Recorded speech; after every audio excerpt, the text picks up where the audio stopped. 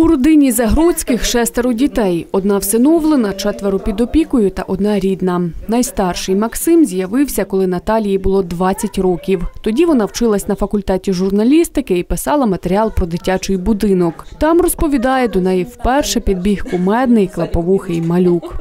Він прибігає, тако чіпляється мені на ногу і лізе по нозі, кричить Мама! Хоч тоді жінка і злякалась дитячих емоцій та невдовзі оговталась, переосмислила і повернулась. Виявилось, що до цього хлопчика, на відміну від інших дітей, абсолютно ніхто не приходив.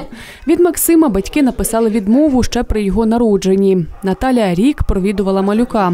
А коли дізналась, що його збираються перевести в інтернат, вирішила забрати трирічного хлопчика у сім'ю.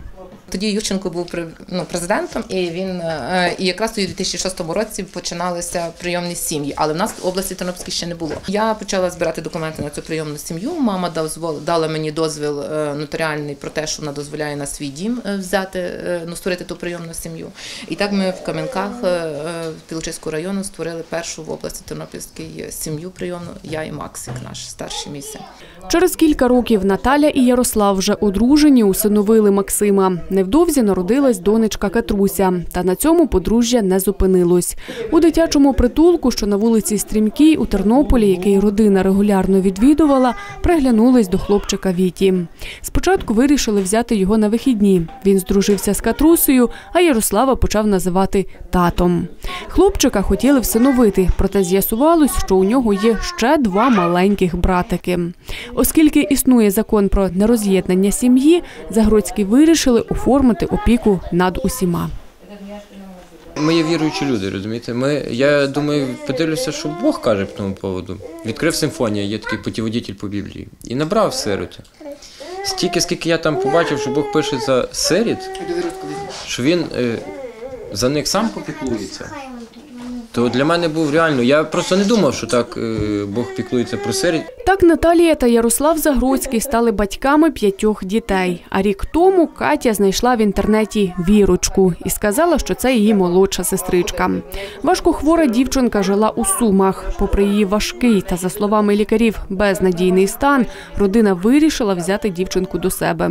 Через відсутність необхідної житлової площі їм спочатку відмовили.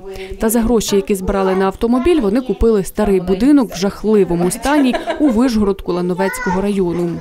Хату повністю переробили та відремонтували і привезли віру додому. За тою дитиною взагалі ніхто за весь час, за 5 років її життя, ніхто ніколи не питався, ніхто не хотів її всиновити, ніхто ніколи за нею не дивився, ну не розглядав взагалі її як особу, яку можна всиновити. Дитина зонду зняти. Це була ну більше 4 роки е, під зондовим харчуванням. Трубочка в так от в- через ротик в шлунку, і вона весь час була лежача. Ніхто навіть не знав, що в неї є емоції. Коли ми її привезли, вона нас буквально ну не знаю, пару днів була без емоцій. Потім емоції почала проявляти дуже швидко. Вірочка, так називають у прийомній сім'ї дівчинку, почала набирати вагу, сміятись та кричати. Хоч лікарі говорили, що у неї немає координації рухів, та в ходунках дівчинка ідеально вписується в дверний отвір. Вона реагує на рідних та нарешті дізналася, що в неї є ручки та ніжки. Зараз родина Загродських готується прийняти до себе ще одну дівчинку, сестричку Назарчика, Русланчика та Віті. Веронічка із синдромом Дауна. Її знають від народження.